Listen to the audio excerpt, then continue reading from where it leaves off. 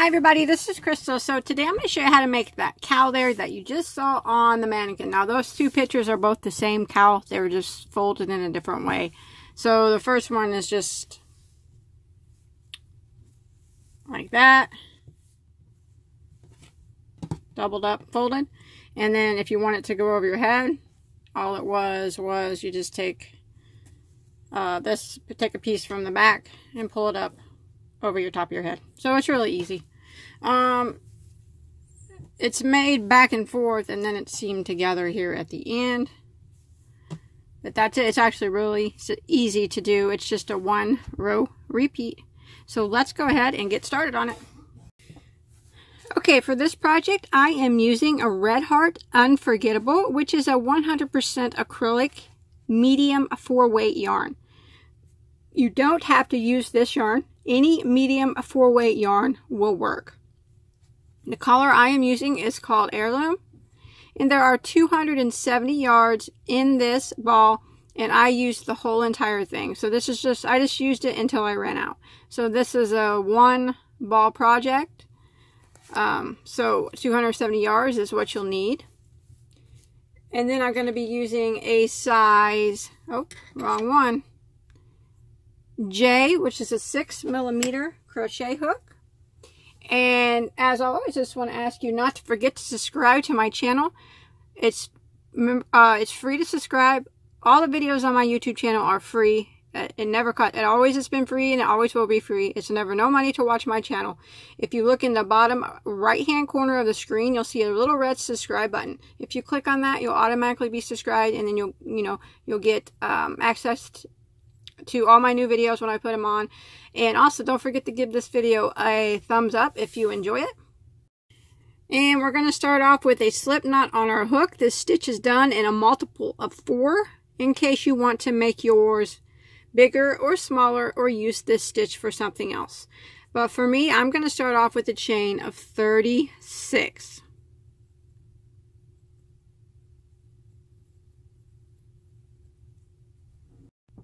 All right, I got my chain of 36 made. And now what we're going to do is we're going to do a triple crochet in the sixth chain from the hook. And remember, we do not count the one that's on our hook. So one, two, three, four, five. In the sixth one, we're going to do a triple crochet. I'm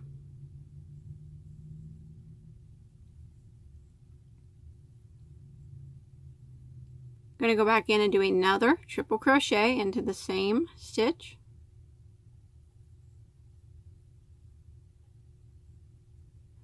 And then chain two and we're going to go back into the same stitch and work a double crochet. So we are going to call that stitch that we just did a shell. So we did the shell is two triples chain two and the double all into the same stitch. Now we're going to skip three stitches and we're going to work a shell into the next. So we're going to skip skip skip and in the next one yarn over twice and we'll work two triples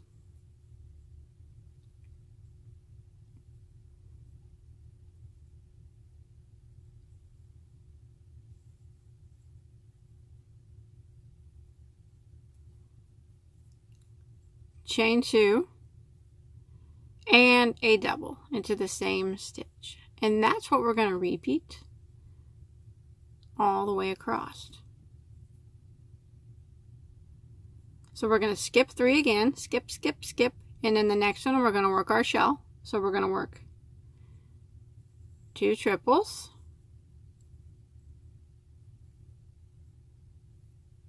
One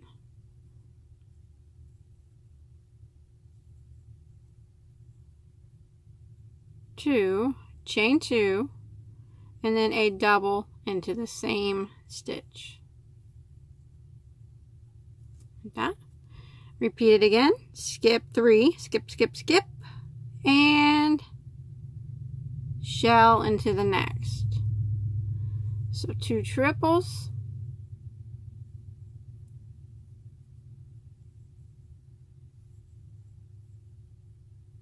Chain two, and a double. Now I'm going to repeat this pattern until I get to the end of the row. Skip three and then do our shell. Skip three and do our shell.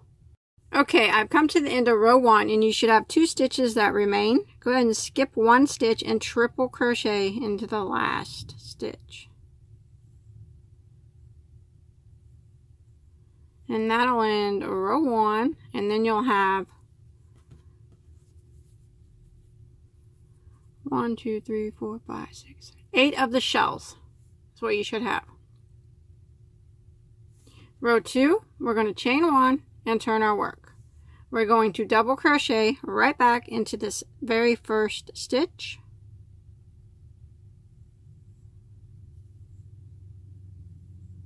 Like that. And now this chain two space here, we're going to work a shell right into it. So we're going to work right through the space, two triples,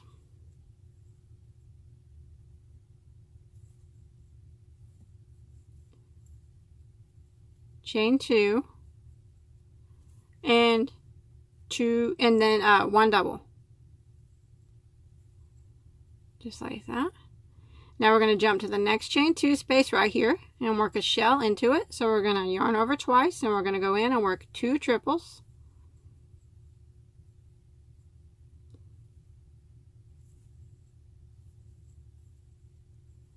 Chain two and go back in and work one double. And that's what we're going to repeat for row two. We're just working a shell in each one of these chain two spaces from the previous shell. So we're going to yarn over twice, go into the next space here, and we're going to work two triples. It's one, two, and then we're going to chain two, go back in and work a double. And that's our shell. And now I'm going to repeat this pattern until I get to the end of the row. Jump here to my next chain two space and work my shell, my two triples, chain two, and a double.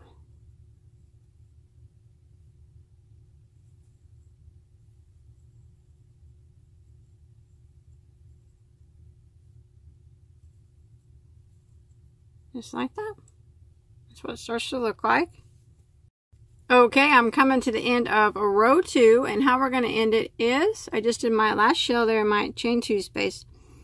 This uh, chain over here, from the very beginning, remember we uh, started by working a triple crochet in the sixth stitch from the hook, so that left five chains. Go ahead and end by triple crocheting in the fourth chain. So one, two, three, four triple crochet into that fourth chain there.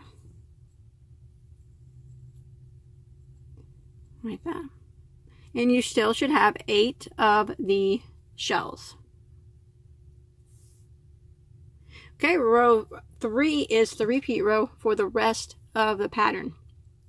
We chain one and turn and then we double crochet right back into that same stitch and it's actually very similar to row two. We're going to put a shell right here into this first chain two space. So we work our two triples.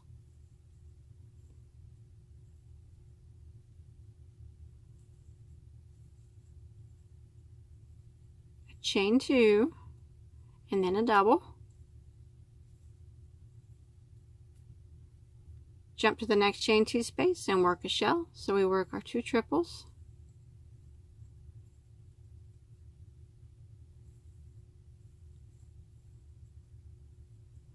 Chain two and a double. So it's kind of what we just did on the previous row. We're working a shell in the chain two space of every shell. The only difference is the way we end it. So two triples into the next chain two space. Chain two and a double. Just like that. Next one two triples.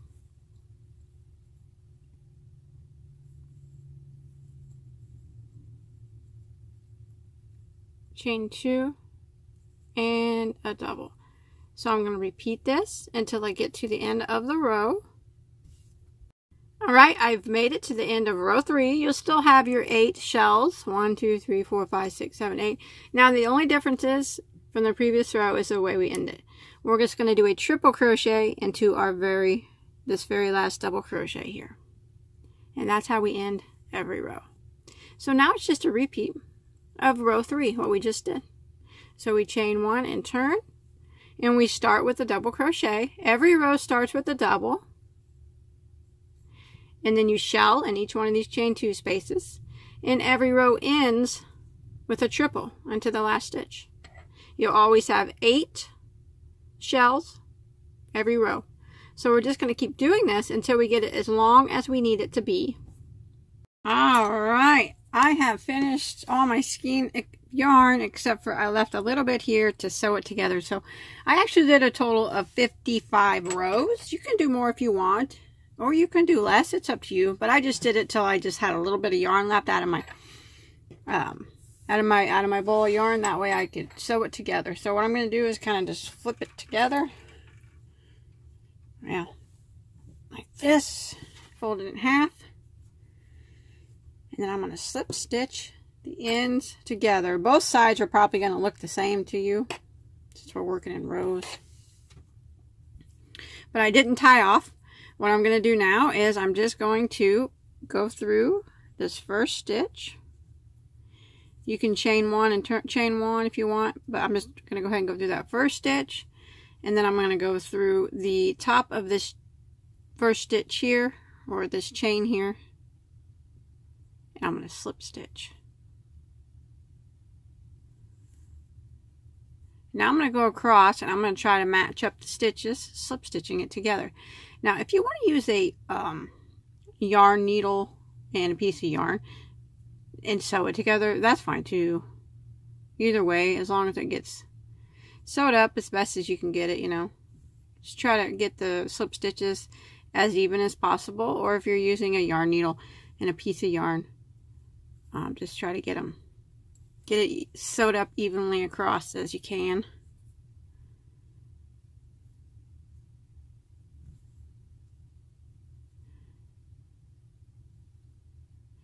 And if you use a yarn needle and instead of slip stitching, it's no different. I mean, it's not going to change how it looks or anything. So either way is fine.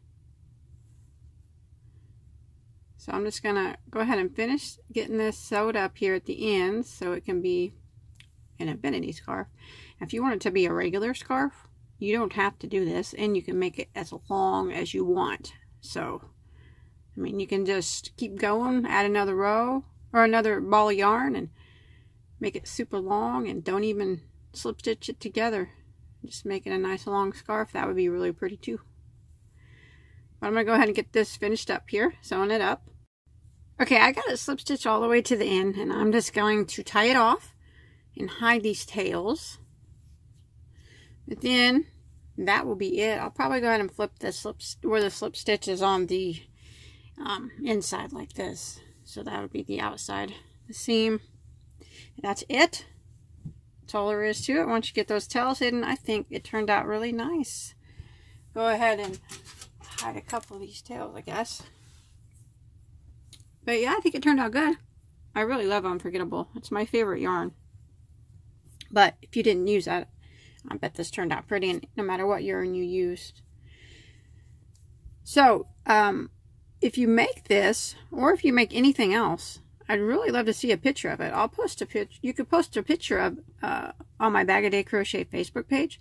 I'll put a link to that below in the description box if you want to join and show me your work. And if you have any questions or anything, you can always ask me on there.